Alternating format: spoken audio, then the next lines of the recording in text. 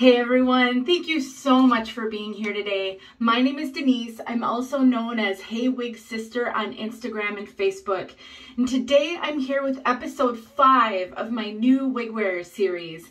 We are five episodes in. I believe this is going to be seven episodes, but I'll be honest, every now and then I get an idea of something that I think I should add.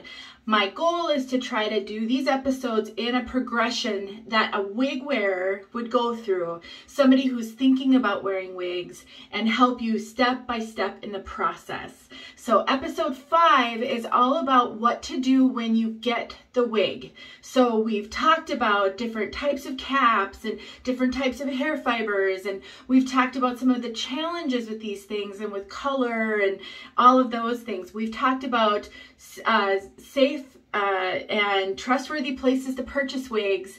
And we've talked about how to measure your head so you have an idea of what, whether you're an average cap size or a petite cap size.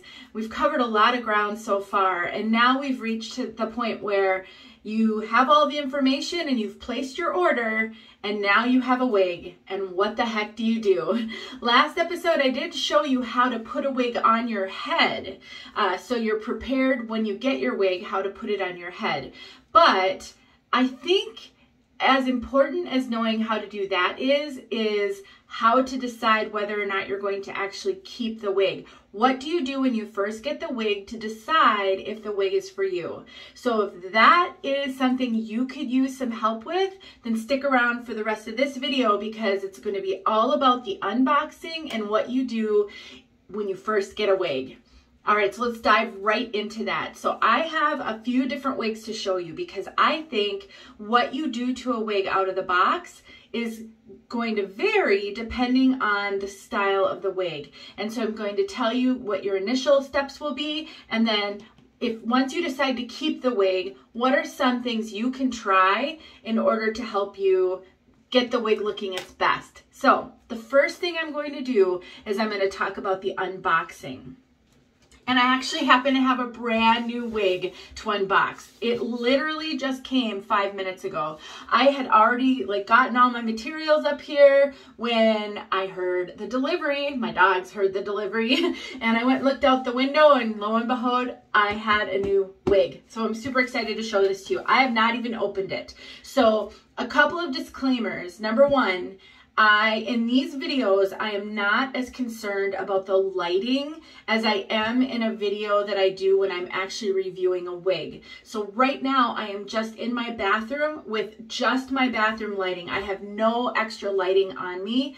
I do think this lighting is really good. I mean, it's very bright. It's that sort of bright white, but I don't necessarily know if color is going to come across perfectly on this or not. Well, honestly, it never comes across perfectly. I mean, it's just kind of hard to do unless you're a professional outfit with thousands and thousands of dollars of equipment and lighting.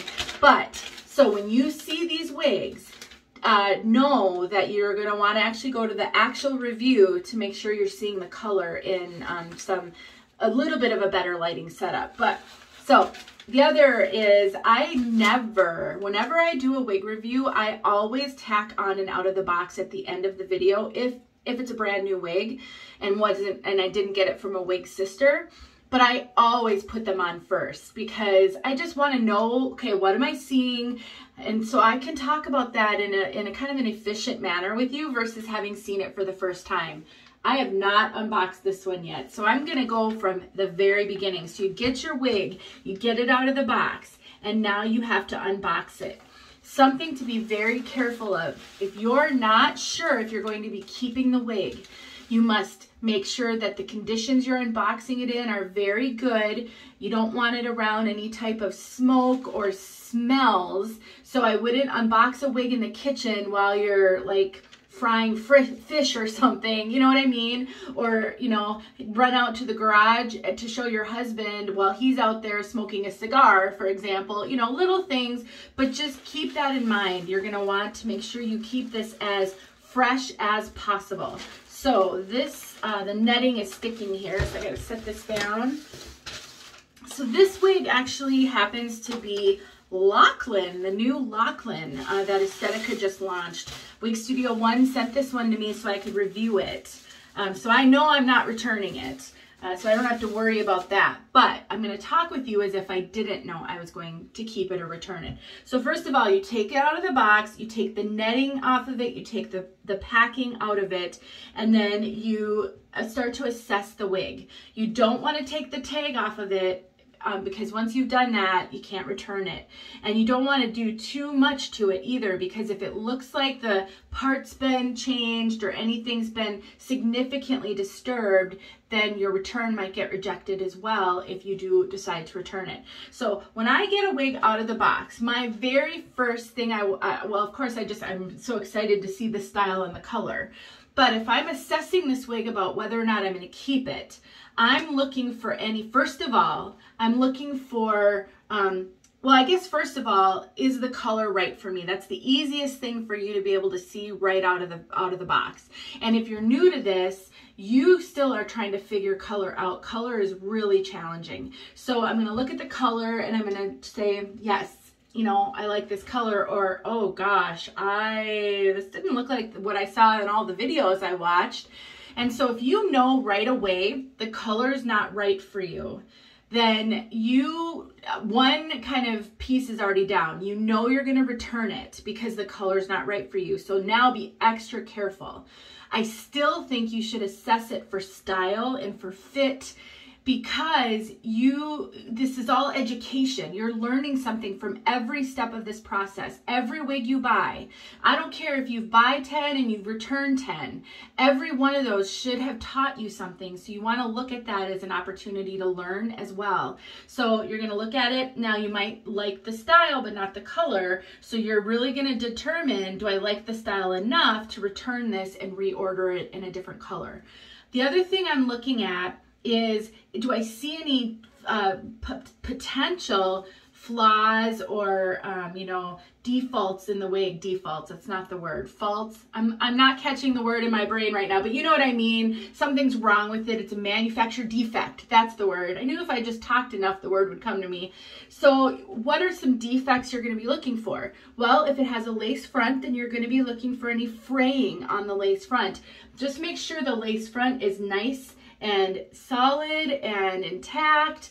Uh, you're going to be looking for, you know, just anything that could be wrong with the wefting. You want to make sure that if it has, you know, a mono part or a mono top, that it's not super sparse on top. You know, things like that can happen in the manufacturing process. Maybe a machine missed a weft or the person who was hand tying in the wig wasn't paying full attention and missed some parts. I have gotten a wig in the past that had a huge bald spot in the top. It was clearly defective. Um, so you're looking for those kinds of things because if there's any defects in the cap, then you definitely want to make sure you're returning it and that you're notifying. Um, okay, so you've looked at the cap. You're like, okay, you know, things look fairly good. You know, I don't see any defects here. I'm not concerned about any of that.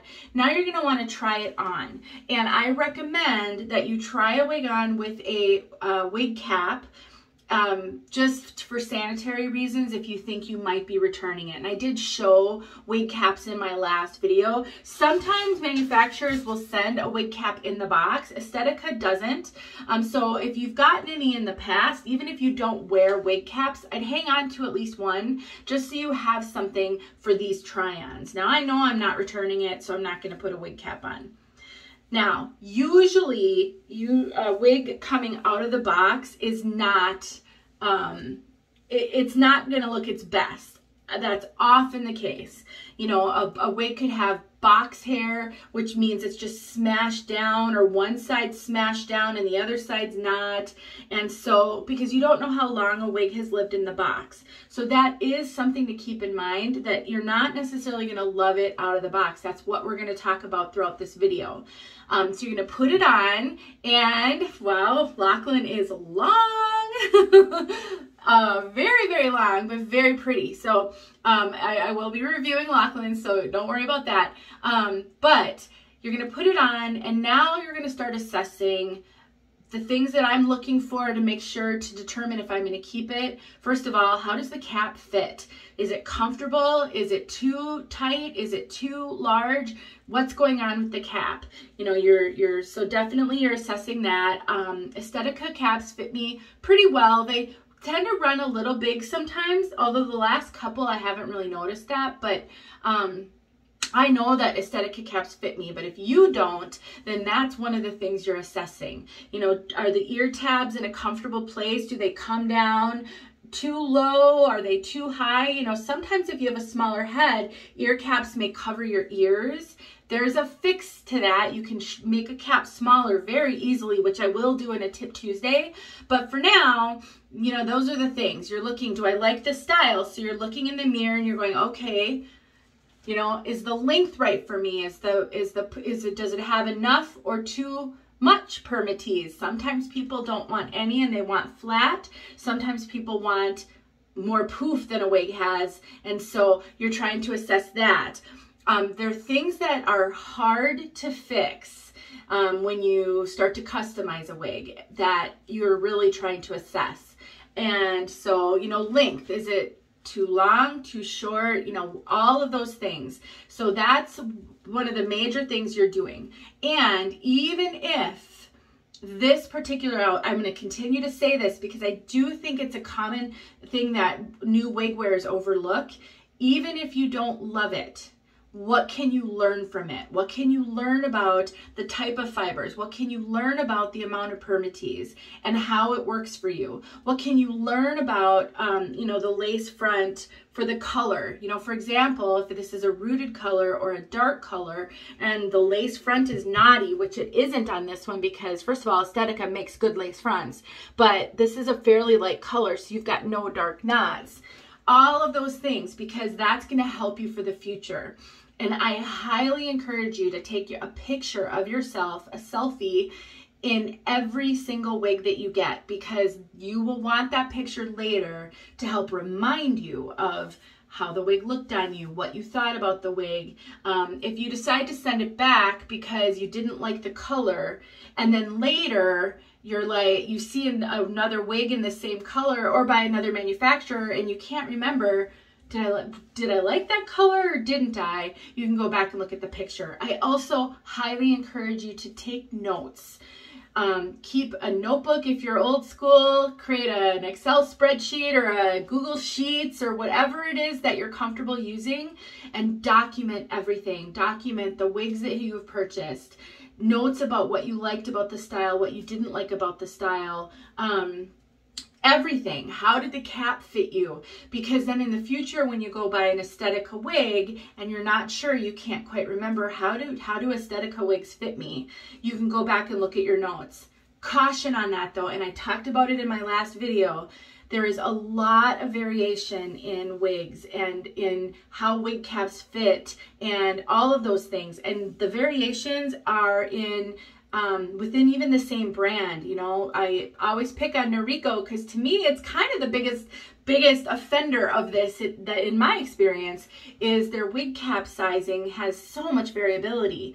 And i know this because i've i've tried on probably five jacksons at this point and some of them have been way too tight for me. I couldn't comfortably wear them and at least one was perfectly comfortable. So there is variation. So you you should still note it but just know that if you've only tried one Estetica wig, I wouldn't judge the whole brand based on that one wig, but those notes are going to be really helpful. Okay, so you've done all that and you've assessed all that and you are thinking, hmm, I, this could work for me.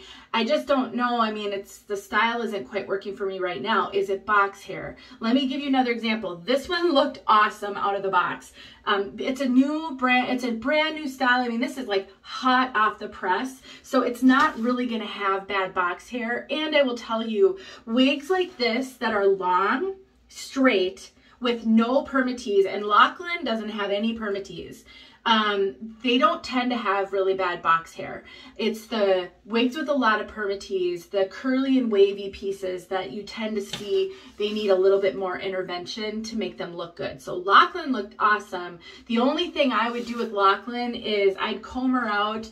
I might, you know, just try to fluff her up a little bit, but I wouldn't even really shake this one a lot because she's so long. I don't want to get her all tangly.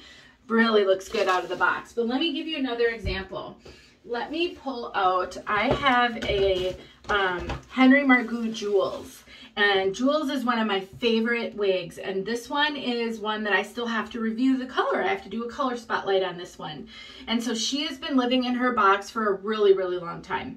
And so let's put her on and I'm not to shake her. I think I probably shook her out once before. Um, and I did get this one from a wig sister. So I was never to do an out of the box on this one anyway. But my guess is she's going to have bad box hair from just, you know, a variety of reasons. So, and I'm right. She doesn't look great. Jules is super adorable and has all these fun curls, but she isn't a great wig out of the box. I I suspect a lot of jewels get returned because people don't know how to deal with box hair. So you put it on and you look at it and you say, Ugh, yeah, this didn't look like the way it looked on Denise when I saw her in her video.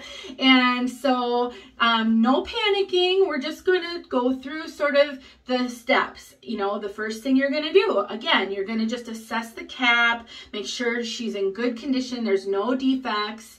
And then remember, you do anything from here on out and you really can't return it.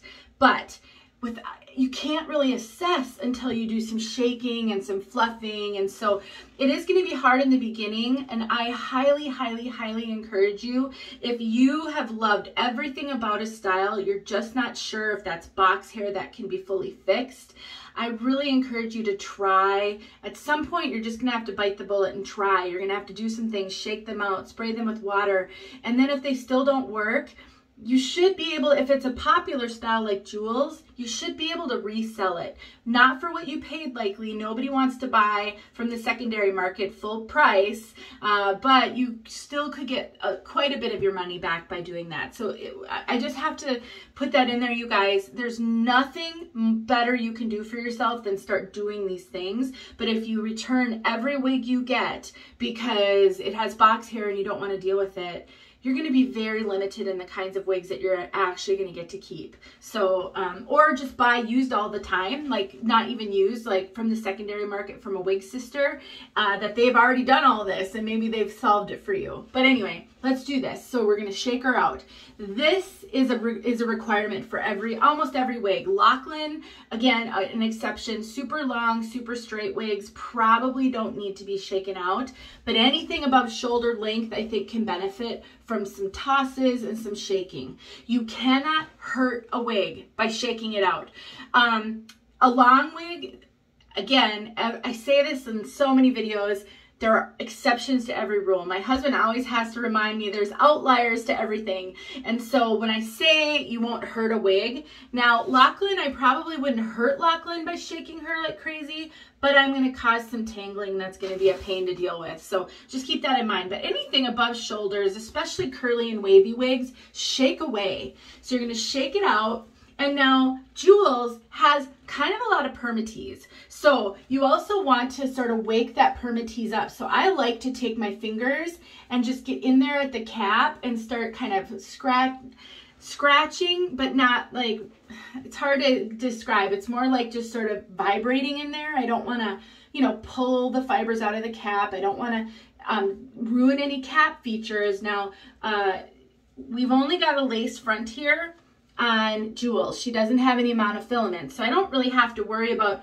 hurting up in the crown area. So I'm really just trying to wake up these fibers. You know, fluffing. You can take your wide tooth comb and you can just sort of get in there as well and go against the grain, so against how the fibers want to lay, because you're trying to wake up that permatease. You're trying to separate the fibers, lift it off the cap, uh, and all of that. So then you can put her back on, And so we definitely woke her up. She is, you know, now she's got some volume and some body. Don't worry, that's that doesn't have to stay either. It's a process, you know. Wig wearing is a process. It's um, you know, it's it's a little bit of a you have to have a little bit of, of tolerance for for customizing, I would say. You know, it's in that way it's different than, you know, buying a shirt off the rack or something. But I mean, look at how much better she looks, you guys. This is I love that when this happens because it really is a good example of how just getting in there and fluffing and shaking and waking up that permatease, what a difference that can make. It's it's so significant.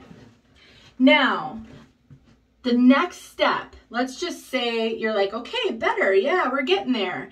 So a couple of other things you can try. And what I usually do with curly wigs is I almost always spray them with water just to, um, I, I like to see kind of how curly the curls can get. And so I just keep a spray bottle of water you can get a spray bottle from the dollar store or you can get one of these fancy glass bottles.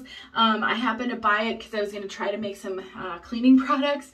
Um, and you can just use tap water if you want to. I use distilled water and the reason I do that is I started to notice tap water started to smell funny after a little while sitting in the bottle. I don't know what it was, but um, I don't, you know, I don't use this that much. And so the water would sit there for a while. And so distilled water doesn't ever get a bad smell to it. So I, I do use distilled. I don't know that it really matters if you don't mind the smell of the, your tap water. And so now you can either spray it a little bit while it's on your head and scrunch it up. It depends on sort of what your goal is right now and do you need to wear it right now, like get out of the house with it on? Or another option is to, I always do this hanging upside down, but you would hang your wig upside down. I just put my fingers through the wefting to hold on to it. And then you start spraying the wig. I typically do it in my shower so I don't get water all over the bathroom. And so you would spray it and then you would, whoops, I almost dropped that bottle, scrunch it scrunch the curl if you get it soaking wet. So another option, if, if, if I get a wig and it has super bad box hair, like almost to the point where I'm not even sure I can revive it, I will soak it in a sink full of cold water. I will just fill my bathroom sink up with cold water and I will submerge the whole thing. And I won't put anything else in, just the water. And then when it's done, it's almost like when you're washing it, which is another future video here in this series, is, you know, then you kind of squeeze out the excess water. Now, if you've sprayed it down so much or submerged it where it's dripping wet, then I recommend you dry it some a little bit. So a couple of options that you have. Oh no, I grabbed my washcloth. Let me grab another one here. Unless, of course, my children stole all my washcloths, which apparently they did. So pretend this is a washcloth. Now, if you had soaked it, you're going to want a towel so that you can wrap it up. You just basically wrap it up in the towel and squeeze so that you're soaking up some of that extra water. But if you just sprayed it and so it's dripping still, what I would do is I would hang it upside down by the tag so I use a laundry clip, a, a little hook uh, that can be used for laundry, and I would clip it and then hook it over my shower rod and my, my um, curtain rod. And then I would take the washcloth. The reason I say a washcloth, it's a little bit easier than a big towel. And then I would just squeeze and scrunch the curls to squeeze a little bit of that excess water that's going to be dripping. And the reason I do that is the is because I want to know how curly the wig can be. And so if it's dripping a lot of water, the gravity from that water and the weight of the water is actually straightening up those curls a little bit. It's not a permanent straightening because it's not heat, but it's not helping me achieve what I'm trying to achieve. So that's what I do. And then once, you know, every now and then I might come and I might scrunch it a little bit more.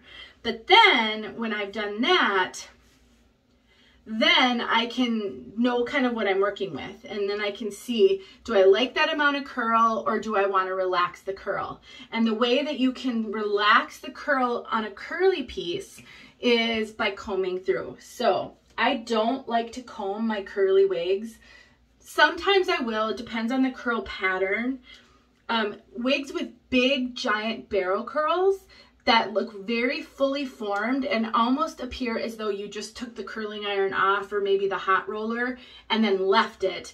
Those tend to need some combing. Wigs like this will do better with generally with finger combing, but that's on, that's my personal preference. But you can relax the curl a little bit by finger combing or combing through and you can see that I'm, I'm doing that right now and how she's kind of turning into more of a wave and a little more relaxed. And if you, and then you can still spray it with water and still scrunch and you'll be able to get that curl back uh, typically. The more you comb a curly wig though, the less curly it will be over time. You will eventually relax it so that you'll never really get that curl fully back. So be careful with how much you comb through curly wigs. And curls like this don't tend to frizz either. So um, the more curly, the more tight the curls are, the longer the hair fibers, you might get some frizz going on. But um, that's more on the caring for your wig part of this series. This is just for the out of the box. So what have we talked about so far? We've talked about being careful not to do anything with the wig until you know you're going to keep it. But going into it with reasonable expectations that wigs often need a lot of help out of the box. They don't look great out of the box a lot of the time because of box hair and because, you know, they've been compacted in that box. Really, a lot of it depends on the length of the wig, the curly or not curly, and how much permatease it has. But shaking it, fluffing it, spraying it with water. Um, I'm not an advocate of washing your wigs uh, fresh out of the box. I just don't think, first of all, the more you wash a wig, the shorter its life is going to be. And so I just try to wash my wigs as little as possible. I know some people though always wash their wigs when they first get them. That is what they are most comfortable with. So you can absolutely wash your wig when you first get it.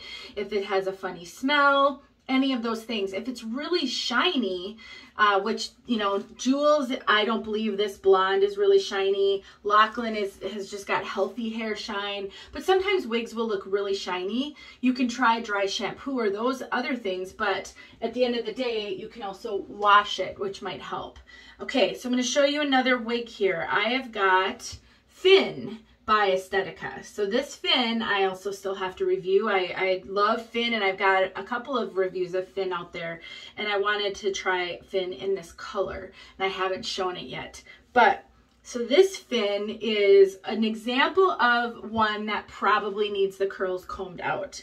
So this is not fresh out of the box. I actually did, I was almost to film this review a while back and so I had already tried to spray her down and get her to look good and had done some of those interventions. She had some pretty bad box hair um, and then I didn't get to it. So now she's been living in the box. But this is an example of one where I think you can shake her out vigorously. It's not too long and, you know, try to wake up the permatease. Finn does have a good amount of permatease. So you're going to do all the same stuff you know, you're to shake, you're to get in there with your fingers into the permatease and really kind of mess around with it and wake it up.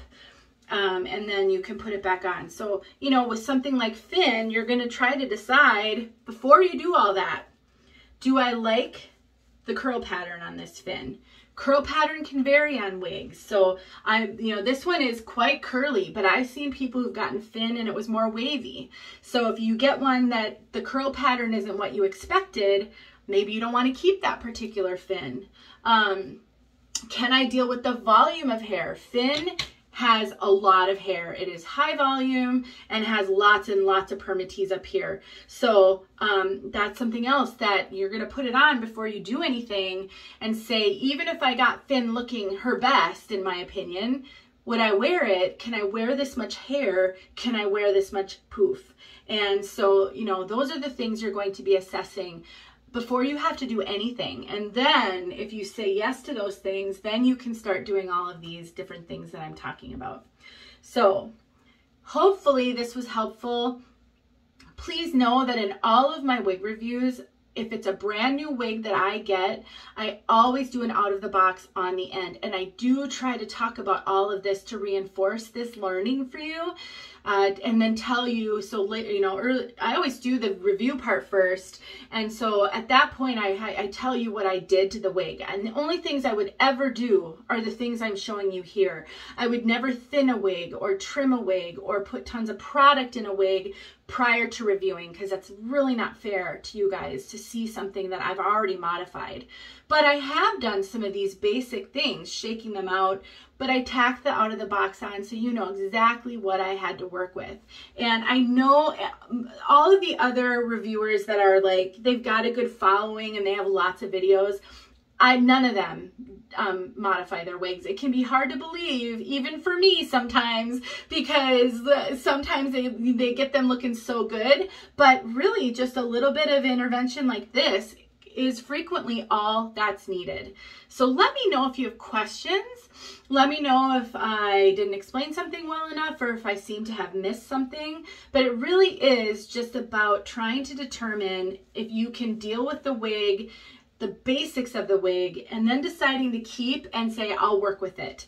It's another reason why I do Tip Tuesdays and I'm doing so much more education for you guys because I know how hard wig wearing is. And it is rare that a wig is perfect out of the box for every person who buys it.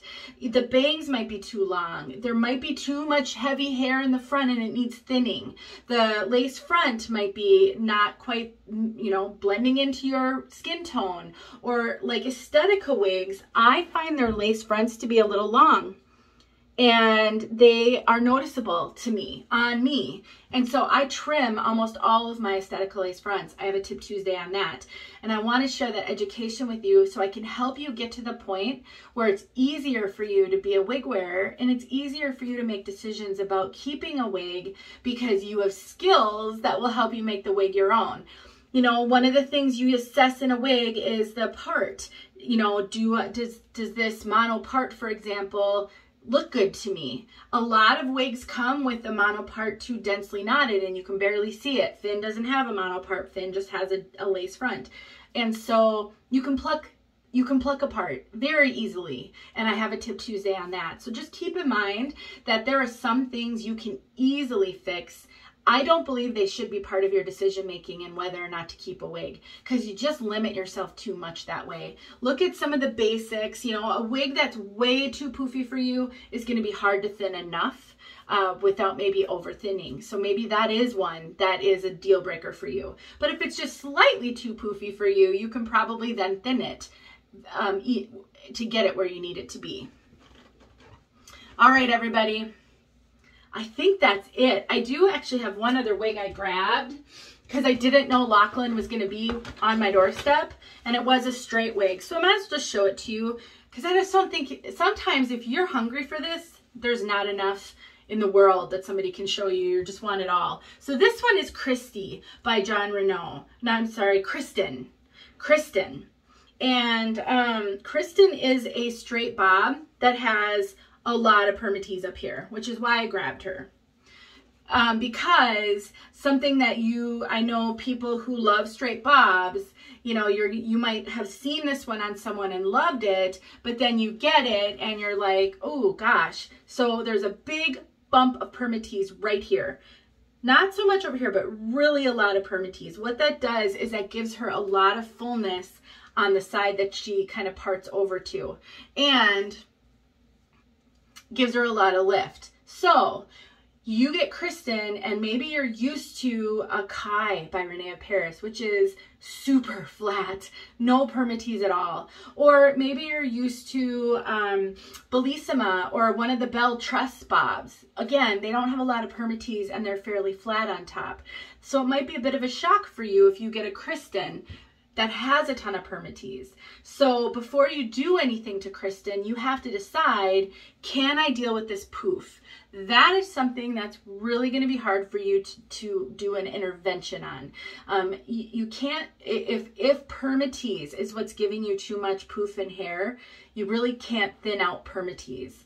And Kristen has what I would consider a moderate hair density So you could thinner a little bit, but you're not going to reduce this poof a whole lot through thinning. You might make it so it's not so heavy in the front if that's what you're struggling with, but not with the poof. So that is something that you just have to be aware of. If this big pillowy permatease isn't working for you, then this probably isn't the style for you. Kristen's probably not going to come with too bad a box hair because she is straight, but this kind of might be the culprit. So how do you know if it's just the bad style or if it's box hair?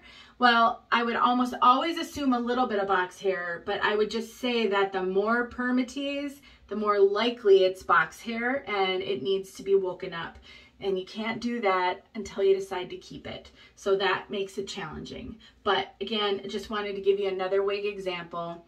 So hopefully this was helpful and you guys learned something new. Again, give me feedback and if, you know, if, if I get some feedback that I totally missed the mark on something in this video, then I'll make sure to do a Tip Tuesday to address that as well.